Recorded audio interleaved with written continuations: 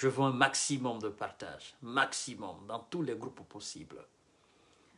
Adja Alimatou Dalin, à la barre, la maman nationale. Qui est-ce qui a choisi ce nom pour cette euh, généreuse dame?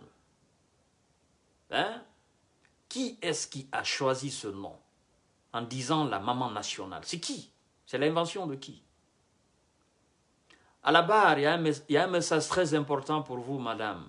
Madame Dalin Diallo. Mesdames et messieurs, bonsoir à vous tous. Bienvenue sur la page Jeune Visionnaire, comme d'habitude. C'est encore moi, Monsieur Kanté, l'infatigable. Alors nous avons aujourd'hui, euh, je dirais même deux, deux, sujets. Parce que le premier sujet qui concerne la femme de Dalin, Monsieur Dalin, son Excellence Eladj Mamadou Dalin, Serou Dalin Diallo. Le sujet qui la concerne, c'est un sujet de message, une confession. Quelqu'un euh, qui a pris la peine de contacter M. Kanté, je dirais un frère, je ne vais même pas l'appeler, je ne vais plus l'appeler euh, un communicant du RPG Arc-en-Ciel. Non, je ne vais plus l'appeler comme ça. Certainement, hier, il était communicant du RPG Arc-en-Ciel. Mais dorénavant, il ne l'est plus. Même si, même si il n'a pas encore fait une déclaration officielle à l'UFDG. Mais c'est un communicant de l'UFD, de, du RPG Arc-en-Ciel, un ancien, si je puisse me permettre, qui m'a personnellement appelé et qui m'a passé un message euh, très grand, qui m'a fait une confession une confession euh, que je dois, à mon niveau, passer aussi, euh, comme il me l'a dit, euh, à la personne qui est censée la recevoir, la confession, naturellement. C'est Adja Alimantou qui doit... Le monsieur s'adresse à Alimantou Diallo, un communicant, un vaillant communicant du RPG Arc-en-Ciel. Donc, pour le moment, je, je préfère le, garder encore dans l'anonymat parce que je sais que dans les jours à venir, euh, il, va, il va faire quelque chose de très très important dans sa vie. C'est lui de changer de camp et euh, d'adhérer à l'UFDG et aux idéaux de l'UFDG. Donc, euh, c'est une confession qui me l'a fait mais je pense que cette confession, hein, au-delà de la confession, moi, mon travail aujourd'hui, c'est de préparer les esprits concernant ce vaillant communicant qui a franchement l'intention euh, euh, d'adhérer à l'UFDG. Donc, je prépare les esprits avant son officialisation. Je prépare son esprit, les esprits avant euh, que les militants sympathisants de l'UFDG l'accueillent, le voient. Donc, vous me, vous me taguez Alimatou Dalen Diallo parce qu'aujourd'hui, euh, la confession, c'est pour elle. D'accord? Et euh, sincèrement, ça m'a beaucoup touché quand j'ai été approché par ce monsieur. Parce que, euh, vous savez bien, à l'approche des élections, les campagnes et tout ça, bien vrai que moi, je ne suis pas militant sympathisant de l'UFDG, mais les gens me considèrent déjà comme si je suis de l'UFDG ce qui est faux, pratiquement. Moi, je suis tout court Selou Diallo. Voilà, je crois en la personne, c'est tout. On partage les mêmes convictions, je ne vais pas me répéter. Avec ce monsieur, nous avons eu, euh, ok, des tracasseries dans l'inbox. Disons, pas même des tracasseries parce que c'est trop dit. J'ai reçu euh, des menaces de sa part, j'ai reçu des injures de sa part, des injures de père et mère. Mais bon, bon aujourd'hui, on a rigolé. Euh, je l'ai dit tout simplement que c'est mon esclave, que moi je le pardonne. Pour moi, c'est rien. D'accord? Parce qu'au début de mes émissions, euh, quand ils ont con constaté que je, je, je parlais de Selou Diallo, ils ont mal, euh, ils ont mal accueilli cela parce que tout simplement, ils savent que je suis aussi du Manding. et que je ne tiens pas des discours de divisionnistes, je ne tiens pas de discours euh, communautaristes, je ne tiens pas de discours euh, régionalistes, je fais exception à leurs règles. Et donc, euh, ils ont mal interprété, ils ont mal compris le combat, le schéma que j'avais choisi. Pas de supporter les Peuls, non. Pas de supporter l'UFDG, non. Encore, moins encore loin de là. Mais d'exprimer ma conviction et de parler d'une certaine manière qui est différente de la leur. Alors, moi-même, j'ai fait l'objet de beaucoup de menaces, de la part même de mes, de mes propres parents.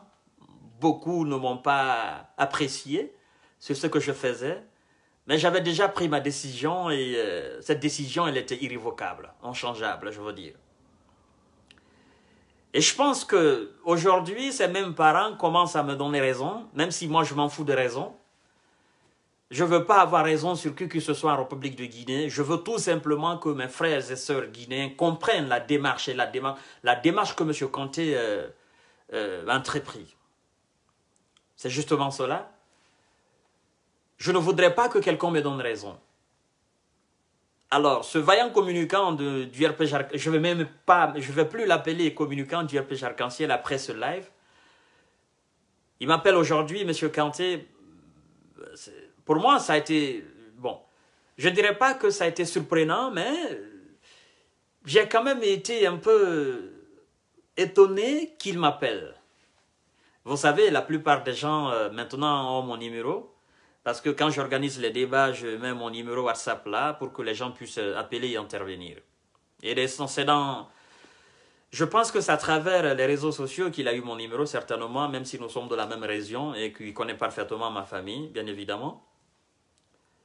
Alors, euh, partager le live, c'est très important, parce que la confession euh, que le monsieur m'a faite, et je vais faire la même confession euh, à Jalimatou Diallo, et je pense qu'après euh, voilà, après ce live, dans les jours à venir, certainement, lui-même, euh, euh, il aura le courage d'affronter cette dame et de, ok, de lui faire la confession.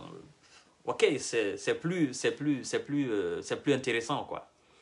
Vous savez, chez nous en Malinké, on dit que l'eau qui sort sur la langue du poisson, c'est ce qui est fraîche. Mais moi, je, mon objectif aujourd'hui, c'est de préparer les esprits au fait. Alors, il y en a qui viendront me dire ici, Monsieur Kanté, le nom de la personne. Non. Pour le moment, je ne peux pas dire son nom parce qu'il m'a supplié, s'il te plaît, Monsieur Kanté. Je préfère encore que tu taises mon nom, simplement parce que moi-même, je viendrai vers cette dame. Mais avant, que je ne vienne, je veux, je veux que tu fasses cela pour moi. Parce que vous savez bien, j'ai parlé de deux jeunes aussi euh, de la Haute-Guinée, les jeunes euh, militants victimes du système d'Alpha Condé, n'est-ce pas, qui attendaient M. Selouda Diallo dans les brousses quelque part là-bas, Tokounou, euh, qui, devait lapider M. Selouda Diallo. Vous avez écouté la confession de ces deux jeunes, mais je pense qu'après, il, euh, il y a eu quelque chose qui s'est passé.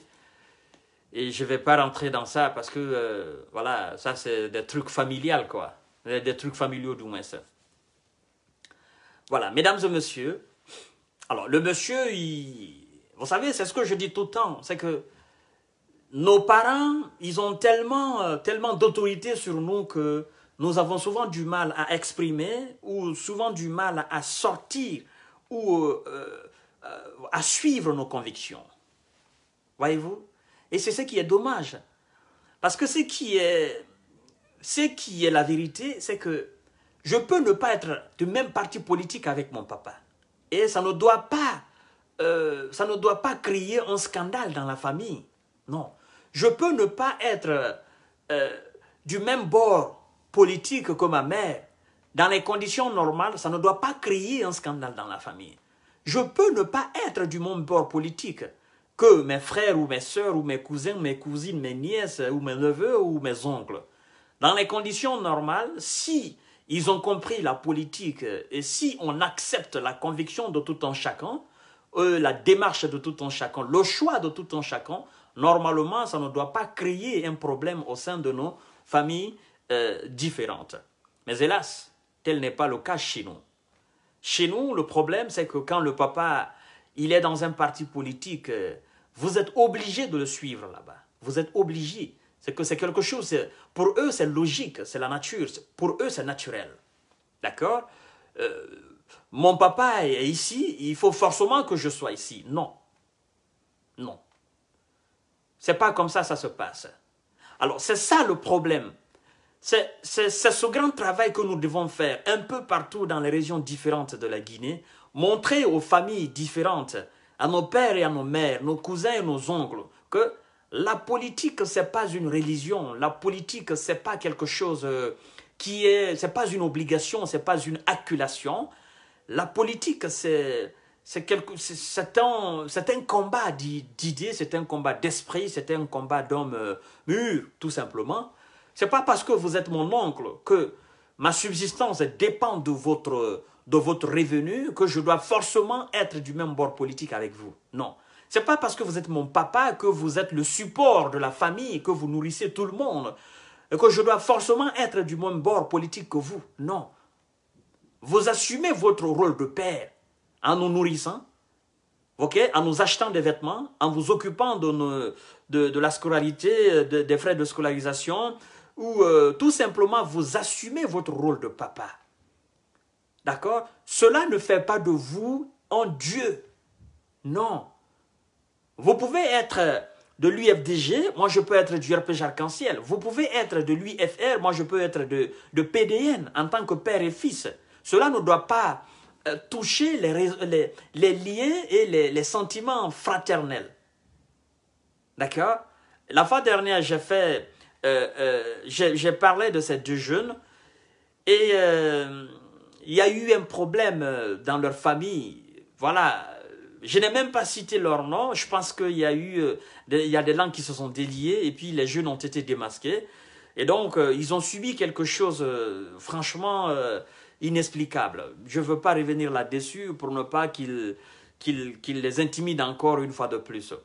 Alors, n'est pas le cas de ce monsieur, ce très grand communicant du RPG Arc-en-Ciel, ex-grand communicant du RPG Arc-en-Ciel.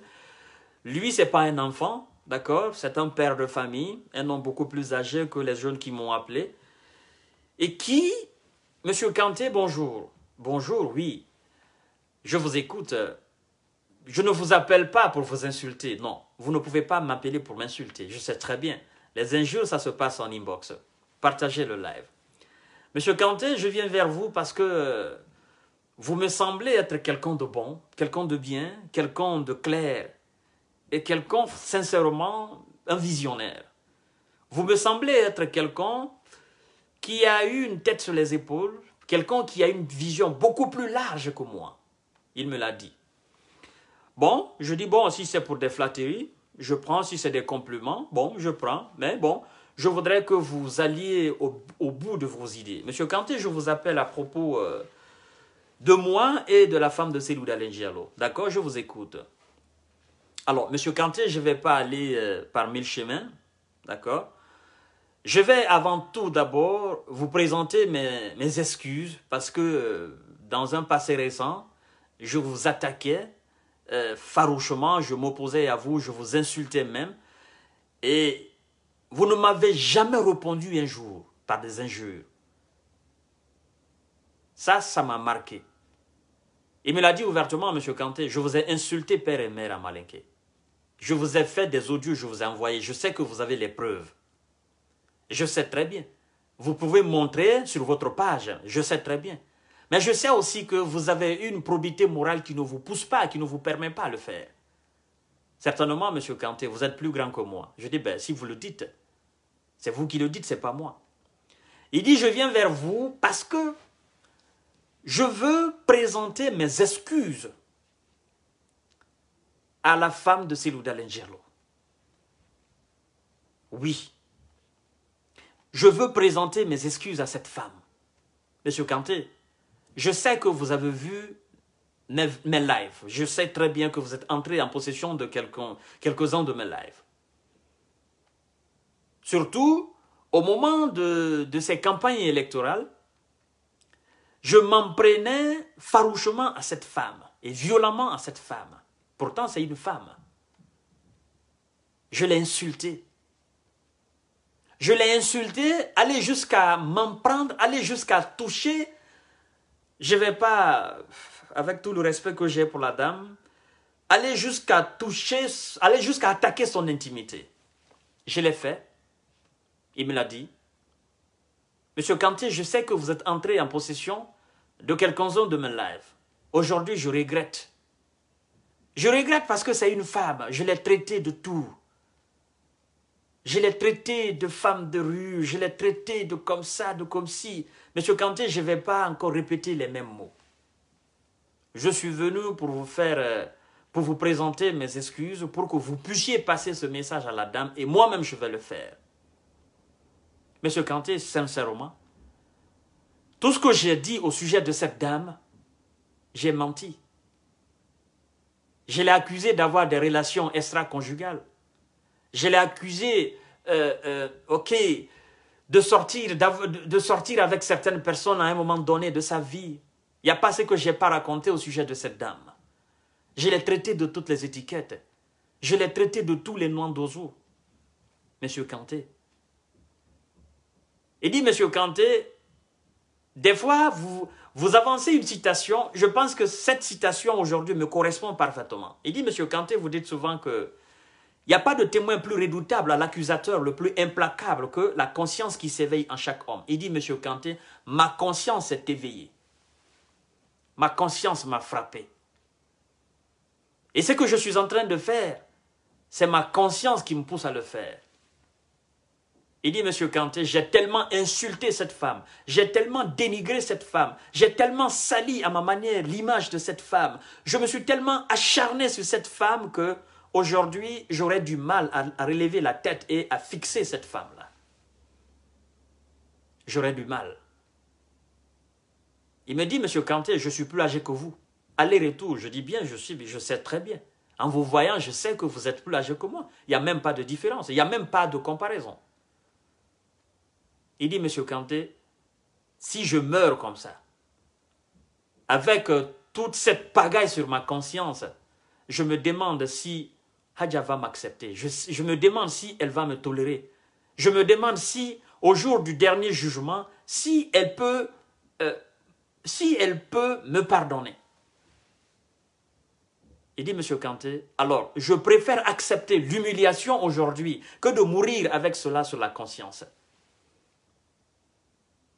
Il dit, mais monsieur Kanté, vous allez faire cela, vous allez passer ce message à Hadja. Je sais que, même si je n'ai pas la confirmation, je sais, monsieur Kanté, que vous avez certainement le numéro de Hadja. Je sais que vous avez certainement le numéro de Selou. Je sais que vous communiquez, même si je n'ai pas la certitude. Il dit, mais monsieur, s'il vous plaît, passez ce message à la dame. Présentez là mes excuses Dites-la que j'ai eu tort. Dites-la qu'elle est plus grande que moi. Je dis non, on ne va pas arriver là. Bon, c'est un homme âgé. Il est resté à me parler. J'ai senti de, j'ai senti la tristesse. J'ai senti, euh, qu'est-ce que je veux dire?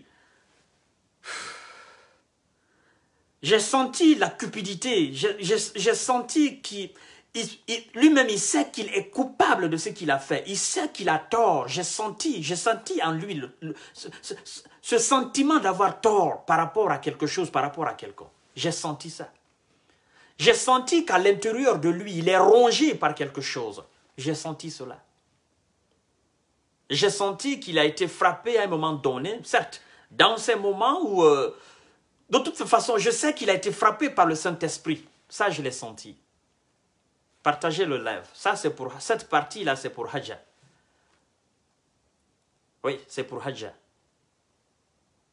Alors, je ne l'ai pas laissé terminer parce que moi aussi, vous savez, je suis très émotif. Je ne voulais pas, voilà, que les larmes coulent et tout ça. Je l'ai dit tout simplement, je dis, écoute mon cher, le fait, le simple fait de prendre conscience de ce que vous avez fait à un moment donné de votre vie. Le simple fait que vous avez compris que vous avez commis une erreur, vous avez commis une faute lourde. Le simple fait que vous vous accusez vous-même. Vous comprenez que vous êtes coupable vous-même. Ce simple fait, même si moi je ne fais pas de live pour parler à Adja, je sais que vous êtes déjà pardonné. Ouais.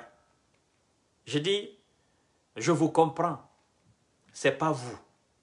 Vous avez été victime d'un système. Vous avez été victime d'un lavage de cerveau. Je sais que vous êtes plus âgé que moi. Mais permettez-moi de dire que les années ne sont que des chiffres. L'homme vieillit dans la chair de sa peau. Je sais que vous êtes vieux. Vous êtes plus âgé que moi. Sincèrement. Pas même 10 ans. Vous êtes plus âgé que moi. Plus que 10 ans. Mais l'âge, ça ne veut rien dire en matière politique. Oui. Permettez-moi de vous avouer que vous avez été victime et même le jour que vous allez rencontrer Adja, elle-même, elle va vous dire que vous avez été victime. Je dis, approchez cette dame. Ça va vous permettre de la connaître de plus, de savoir qui elle est. De savoir, c'est-à-dire le sentiment qui anime son esprit et son cerveau. Le sentiment qui anime son âme, son état d'âme. Approchez cette femme. Vous n'aurez même pas besoin de présenter des excuses. Et je pense que Hadja, elle est en train de me regarder quelque part. Et je pense que le jour que Hadja verra la personne devant elle, elle saura que oui, c'est de ce monsieur-là. Monsieur Kanté parlait la fois dernière. Alors, vous n'avez pas besoin de demander pardon. Je vous ai déjà pardonné. Le jour que j'ai entendu Monsieur Kanté parler, j'ai su que vous allez venir vers moi. Et en vous voyant devant moi aujourd'hui, vous n'avez même pas besoin de demander pardon. Alors, Adja,